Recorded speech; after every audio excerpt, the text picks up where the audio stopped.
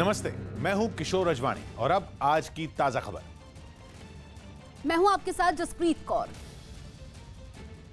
उत्तराखंड के नैनीताल में एक मकान में भीषण आग लगने से हड़कंप मच गया। यह आग जिस मकान में लगी वो काफ़ी साल पुराना था। जो अचानक आग की तेज लपटों में घिर गया। इससे पहले कि लोग कुछ समझ पाते आग चारों तरफ़ फैल चुकी थी। मकान में लकड़ी का ज़्यादा इस्तेमाल होने की वजह से आग फैलती चली गई। ग्राउंड फ्लोर पर आग लगने के बाद वो पहली मंजिल तक पहुँच गई। लोगों ने इसकी खबर दमकल विभाग को दी, जिसके बाद दमकल के कर्मचारी वहाँ पहुंचकर आग को बुझाने में जुट गए। लेकिन जब तक वो आग पर काबू कर पाते, मकान जलकर राख हो चुका था। गनीमत रही कि आग लगते ही मकान में रहने वाले लोग बाहर निकल आए थे, जिससे कोई भी आदमी इस आग की चपेट में नहीं आया। महाराष्ट्र में चुनाव नतीजों के एक महीने बाद आखिरकार शिवसेना प्रमुख उद्धव ठाकरे ने राज्य के मुख्यमंत्री पद की शपथ ली।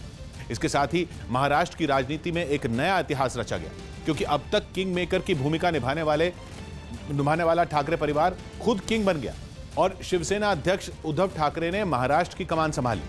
मुंबई के ऐतिहासिक शिवाजी पार्क में जब उद्धव ठाकरे शपथ लेने के लिए मंच पर पहुँचे तो उन्होंने सबसे पहले वहाँ लगी छत्रपति शिवाजी की प्रतिमा के आगे सिर झुकाकर प्रणाम किया, जिसके बाद राज्यपाल भगत सिंह कोश्यारी ने उन्हें पद और गोपनीयता की शपथ दिलाई।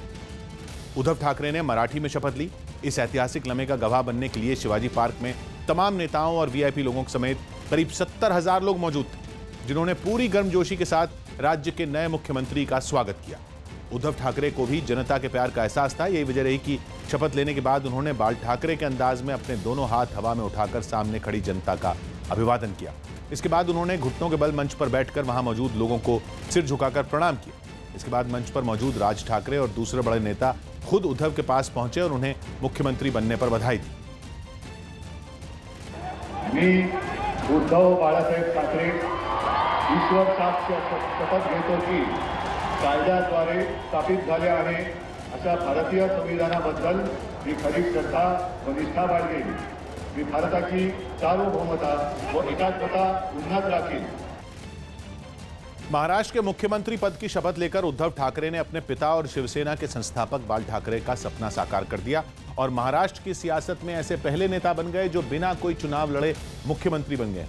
ऐसे में उन्हें छह महीने के अंदर विधानसभा या फिर विधान परिषद के सदस्य के रूप में चुनकर आना होगा। उद्धव ठाकरे सन 2000 से पहले तक राजनीति से पूरी तरह दूर थे और शिवसेना के मुखपत्र सामना का काम देखा करते थे। लेकिन बाल ठाकरे की सेहत खराब होने के बाद वो राजनीति में सक्रिय हुए और 2002 में उन्हें पहली सफलता तब मिली जब उनके नेतृत्व में शिवसेना ने बीएमसी चुनाव में बड़ी जीत हासिल की। इसके बाद भी उद्धव ठाकरे अपने पिता की तर्ज पर ही सियासत करते रहे और न तो चुनाव मैदान में उतरे और न ही सरकार में कभी कोई पद लिया। लेकिन इस बार के विधानसभा चुनाव में पहली बार उन्होंने अपने बेटे आदित्य ठाकरे को चुनाव मैदान में उतारा और एक महीना पहले चुनाव के नतीजे आने के बाद बदले सियासी समीकरण में उन्होंने खुद मुख्यमंत्री बनने का फैसला किया। उद्धव ठाकरे के शपथ लेने के बाद उनकी कैबिनेट के छह मंत्रियों को भी पद और गोपनीयता की शपथ दिलाई गई। शिवसेना, कांग्रेस और एनसीपी के कोटे से दो दो मंत्रियों ने शपथ ली और सबसे पहले शिवसेना के एकनाथ शिंदे और फिर सुभाष देसाई ने मंत्री पद की शपथ ली, जिसके बाद एनसीपी कोटे से विधायक दल के नेता जयंत पाटिल और छगन भुजबल को शपथ दिलवाई गई और फिर कांग्रेस के कोटे से बालासाहेब थोराट को शपथ दिलाई गई। थोराट महाराष्ट्र विधानसभा के सबसे वरिष्ठ नेताओं में एक हैं और महाराष्ट्र कांग्रेस के अध्यक्ष भी। सबसे आखिर में कांग्रेस के नितिन राउत ने भी मंत्री पद की शपथ। चर्चा है कि उद्धव कैबिनेट के बाकी मंत्रियों के नामों पर चर्चा जारी है और तीनों दलों में सहमति बनने के बाद जल्द ही और मंत्री शपथ लेंगे। शिवाजी पार्क में शपथ ग्रहण समारोह खत्म होते ही उद्धव ठाकरे वहाँ से निकलकर सीधे सिद्धि विनायक मंदिर पहुँचे और वहाँ पूजा कर गणपति का आशीर्वाद लिया। इस दौरान उनके साथ उनकी पत्नी रश्मि ठाकरे और उनके दोनों बेटे भी मौजूद रहे। ठाकरे परिवार के अलावा शिवसेना के कुछ बड़े नेता भी सिद्धिविनायक मंदिर पहुँचे। मंदिर में पहुँचने के बाद उद्धव ठाकरे ने पूरे परिवार के साथ वहाँ पूजा की। इसके बाद उन्होंने आरती में भी हिस्सा लिया और भगवान का आशीर्वाद लेने के बाद वो परिवार के साथ मंदिर से बाहर आ गए। महाराष्ट्र में पहली बार ठाकरे परिवार से कोई मुख्यमंत्री बना। महाराष्ट्र में नई सरकार के शपथ ग्रहण के मौके पर मुंबई के शिवाजी पार्क में कई बड़े नेता और दिग्गज हस्तियाँ मौजूद रहीं। यहाँ तक कि पूर्व सीएम देवेंद्र फडणवीस की भी उद्धव ठाकरे के शपथ ग्रहण समारोह में शामिल हुए। शिवसेना नेता और महाराष्ट्र के पूर्व सीएम मनोहर जोशी भी मौजूद रहे तो बड़े भाई को मुख्यमंत्री बनने की बधाई देने के लिए एमएनएस प्रमुख राज ठाकरे भी पहुँचे। नई सरकार में शिवसेना के साथ एनसीपी और कांग्रेस भी साझेदार है, इसलिए एनसीपी और कांग्रेस के भी तमाम बड़े नेता इस समारोह में शामिल हुए। कांग्रेस की तरफ़ से गांधी परिवार का कोई सदस्य भले ही शपथ ग्रहण का हिस्सा न बना हो लेकिन अहमद पटेल और मल्लिकार्जुन खड़गे के अलावा महाराष्ट्र कांग्रेस के तमाम बड़े नेता मंच पर नज़र आए। एनसीपी की तरफ़ से खुद शरद पवार तो पहुँचे ही, उनके अलावा अजीत पवार समेत पार्टी के कई बड़े नेता वहाँ मौजूद रहे। उद्धव ठाकरे के शपथ ग्रहण समारोह में रिलायंस इंडस्ट्रीज़ लिमिटेड के चेयरमैन मुकेश अंबानी, उनकी पत्नी नीता अंबानी और बेटे अनंत अंबानी भी पहुँचे और महाराष्ट्र के नए मुख्यमंत्री को बधाई दी। इससे पहले उद्धव ठाकरे ने जैसे ही शिवाजी पार्क में मुख्यमंत्री पद की शपथ ली, वैसे ही वहाँ मौजूद शिवसेना के समर्थकों ने आतिशबाजी शुरू कर दी और शिवाजी पार्क का आसमान रंग बिरंगी रोशनी से चमक उठा। पहली बार ठाकरे परिवार के किसी शख्स के सीएम की कुर्सी पर बैठने के पल को यादगार बनाने की पूरी तैयारी की गई। शिवाजी पार्क में ही एक तरफ़ शपथ ग्रहण समारोह चल रहा था और दूसरी तरफ़ आतिशबाजी का इंतज़ाम किया गया। आसमान में देर तक रंग बिरंगी रोशनियाँ दिखाई देती रहीं, जिनका शोर इस ऐतिहासिक लम्हे में रंग भरता रहा। रही थी कि, ठाकरे परिवार से कोई भी सदस्य अगर पहला सीएम बनता है तो एक यादगार क्षण और एक इतिहास वाला, इतिहास रचने वाला क्षण बनेगा। तो साफ़ तौर पे आप देख सकते हैं, मेरे पीछे की उद्धव ठाकरे जब शपथ ले रहे थे तो किस तरीके से लोगों की भीड़, उनका पूरा परिवार, उनके सारे समर्थन के लोग यहाँ पर मौजूद हैं। देश के कई हिस्सों में शिवसेना के कार्यकर्ताओं ने उद्धव ठाकरे के सीएम बनने का जश्न मनाया। जम्मू में भी ऐसी ही जगहों में, ऐसी जगहों में थे जहाँ शिवसेना के कार्यकर्ता सड़कों पर उतर आए। और काफ़ी देर तक आतिशबाजी करते रहे। शिवसेना के कार्यकर्ताओं के लिए यह मौका दिवाली से कम नहीं था। कार्यकर्ताओं के हाथों में फुलझड़ियाँ और सड़कों पर पटाखों की लड़ियाँ जलती रहीं। ढोल लगाड़ों का भी इंतज़ाम किया गया, जिसकी थाप पर कार्यकर्ता सड़कों पर झूमते रहे। इस दौरान लोगों ने एक दूसरे को मिठाइयाँ खिलाकर बधाई भी दी। राजस्थान के जोधपुर में एक हिस्ट्री शीटर की लाठी से पीटकर हत्या कर दी गई।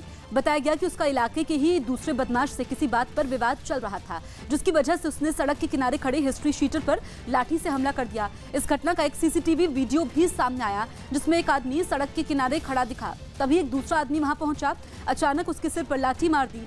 हमला होते ही वो आदमी नीचे गिर गया लेकिन हमलावर ने उसे नहीं छोड़ा उस पर लगातार वार करता रहा। इस बीच वहाँ से कई लोग आते जाते दिखे लेकिन किसी ने भी उसे रोकने की हिम्मत नहीं की। काफ़ी देर तक लाठियाँ बरसाने के बाद हमलावर वहाँ से फरार हो गया।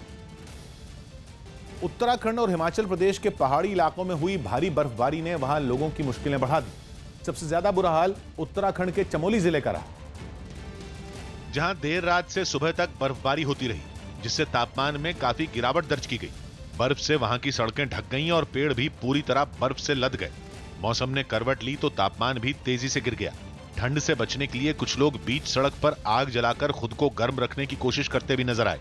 कल से लगातार बारिश और बर्फबारी हो रही है। आम जनजीवन अस्त व्यस्त हो गया है। उत्तराखंड के चारों धाम में भी काफ़ी बर्फबारी हुई। बर्फ़ से पूरी केदार घाटी ढक गई। वहाँ दो तीन फीट तक गिरी बर्फ़ के बीच कुछ लोग चलते हुए भी नज़र आए। वहीं बद्रीनाथ मंदिर समेत उसके पास की पहाड़ियाँ भी बर्फ़ की चादर से ढक गईं। इसके अलावा उत्तर काशी के पहाड़ी इलाकों में भी मौसम की पहली बर्फबारी ने लोगों की मुश्किलें बढ़ा दी।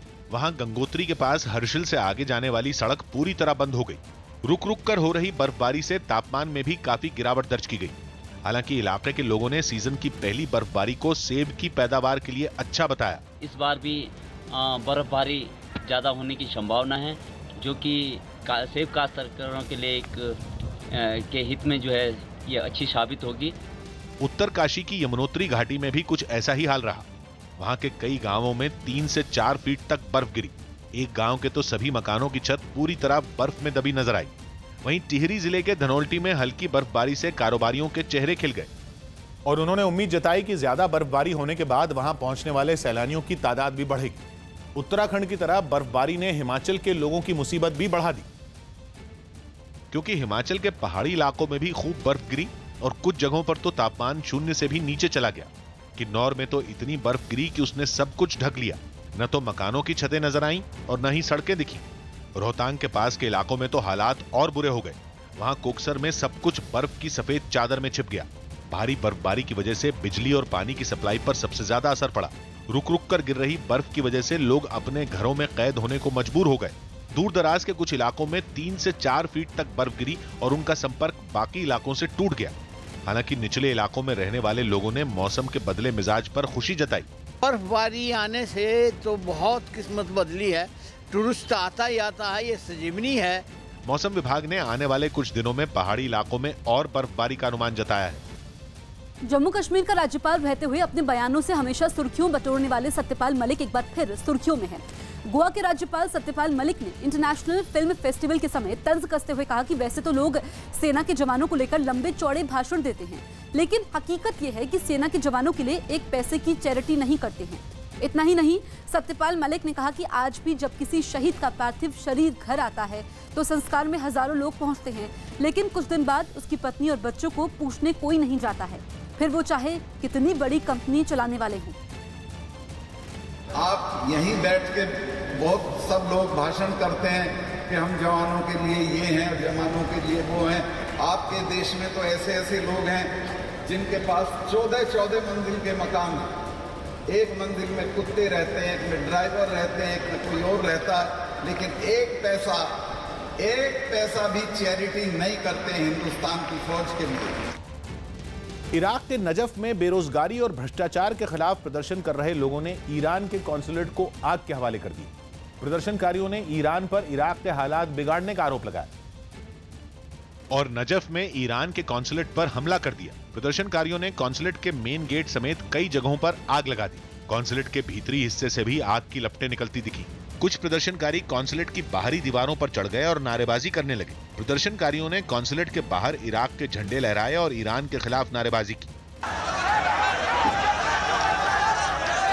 बताया गया कि कुछ प्रदर्शनकारी कॉन्सुलेट के अंदर घुस गए और वहाँ भी उन्होंने आग लगा दी। हालाँकि हालात बिगड़ने से पहले ही कॉन्सुलेट में मौजूद लोग बाहर निकल गए थे। राजधानी बगदाद में भी सरकार विरोधी प्रदर्शनकारियों और सुरक्षा बल के बीच हिंसक झड़पें हुई। वहाँ प्रदर्शनकारियों ने जगह जगह आगजनी कर सड़कों को बंद कर दिया और बदलाव की मांग की।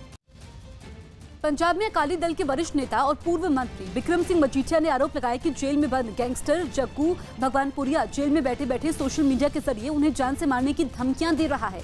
विक्रम मजीठिया का दावा है कि गैंगस्टर जग्गू भगवानपुरिया को जेल में वीआईपी सहूलतें मिल रही हैं।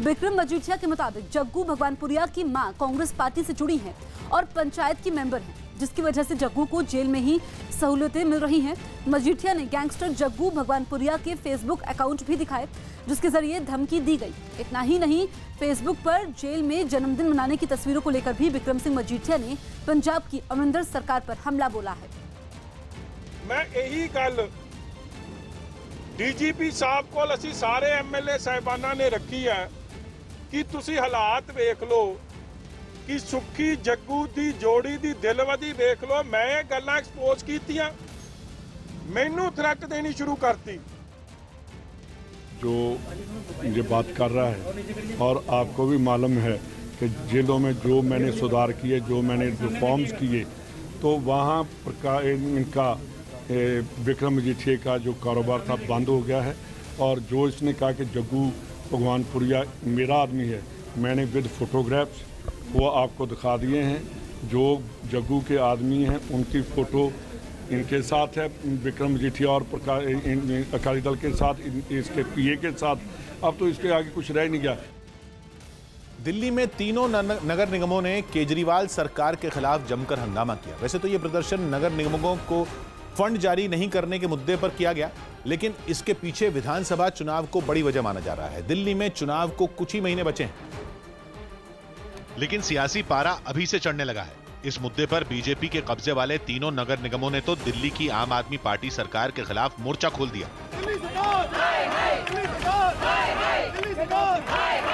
दक्षिण दिल्ली नगर निगम ने आरोप लगाया कि सरकार ने उसके 2000 करोड़ रुपए से ज़्यादा रोके हुए हैं तो उत्तरी दिल्ली नगर निगम ने बताया कि उसके 3600 करोड़ रुपए उसे आज तक नहीं मिले। इसके अलावा पूर्वी दिल्ली नगर निगम ने भी सरकार से उसके हिस्से के 3300 करोड़ रुपए देने की मांग की। जब तक हमारा ये पैसा नहीं मिलेगा हमारे पार्षद आंदोलन करते रहेंगे। केजरीवाल सरकार दिल्ली के नाम पे कलंक है। जब से आई से दिल्ली को 10 साल पीछे धकेल दिया है। बीजेपी पार्षदों ने दिल्ली के सबसे भीड़ भाड़ वाले आईटीओ चौराहे पर धरना भी दिया। और सरकार पर नगर निगमों को कमज़ोर करने का आरोप लगाया। ये सभी पार्षद इस वक्त दिल्ली सरकार में खासतौर से मुख्यमंत्री अरविंद केजरीवाल के खिलाफ यहाँ पर नारेबाजी कर रहे हैं कि केजरीवाल सरकार ने उनका जो बकाया राशि है निगम की वो उन्हें नहीं दिया इस प्रदर्शन पर मुख्यमंत्री अरविंद केजरीवाल की भी सफ़ाई सामने आई। हमारे को जितना पैसा संविधान के हिसाब से देना होता है उससे ज़्यादा कहीं ज़्यादा पैसा हम दे रहे हैं। आम आदमी पार्टी की दलील है कि जब चार साल से नगर निगमों का फंड रोका जा रहा था तो ये मुद्दा चुनाव से ठीक पहले ही क्यों उठाया गया? यानी पार्टी इस मुद्दे को सीधे सीधे राजनीति से प्रेरित बता रही है। नाथुराम गोडसे को लेकर विवादित बयान देने पर इंदौर में कांग्रेस के कार्यकर्ताओं ने भोपाल से बीजेपी सांसद साध्वी प्रज्ञा के खिलाफ देशद्रोह का मामला दर्ज करने के लिए शिकायत दी है। साध्वी के इस बयान को लोकसभा की कार्यवाही से निकाल दिया गया, लेकिन कांग्रेस ने इसे बड़ा मुद्दा बना लिया है। थाना प्रभारी बीडी त्रिपाठी ने ठाकुर के खिलाफ कांग्रेस कार्यकर्ताओं की शिकायत मिलने की पुष्टि की है और साथ ही कहा कि जाँच के बाद ही पुलिस आगे कोई कदम उठाएगी। फ़िलहाल साध्वी प्रज्ञा के खिलाफ कोई मामला दर्ज नहीं किया गया है। और जो ये मध्य प्रदेश कांग्रेस कमेटी के जो सभी आप देख रहे हैं, खंडेलवाल और सभी लोग जो आए हुए हैं तो प्रज्ञा ठाकुर जी ने जो लोकसभा में कोई टिप्पणी की थी, उसके विषय में मांग के लिए आए थे, ज्ञापन लिया है और हम उसको विधि सम्मत कार्रवाई के लिए वरिष्ठ अधिकारियों को भेजेंगे। हम लोग वही अभी अनुरोध कर रहे थे, एक दूसरे से बात हो रही थी कि चूँकि ये बात संसद में बोली गई है तो संसद के जो परिधि में आते हैं, उसी दायरे में कार्रवाई की जाती है, दूसरी जगह संसद की बात को दूसरी जगह पदपराध पंजीबद्ध डायरेक्ट नहीं कर सकते। तो इंदौर में प्रज्ञा के खिलाफ शिकायत की गई है। देशद्रोह का केस दर्ज करने की मांग की गई है। साध्वी प्रज्ञा ने विवादित बयान दिया था संसद की पटल पर और इसको लेकर के उनका विरोध भी हो रहा है। विपक्ष ने भी इसे मुद्दा बना लिया है और अब इंदौर में शिकायत दर्ज की गई है कि देशद्रोह का केस उनके खिलाफ दर्ज होना चाहिए। हालाँकि साध्वी प्रज्ञा ने अपने बयान पर सफ़ाई दी थी। उन्होंने नाथुराम गोडसे को देशभक्त बताया था और पहले भी वो इस तरह का बयान दे चुकी हैं। आज की ताज़ा खबर में एक ब्रेक। अभी देखते हैं इस वक्त की बड़ी खबरें।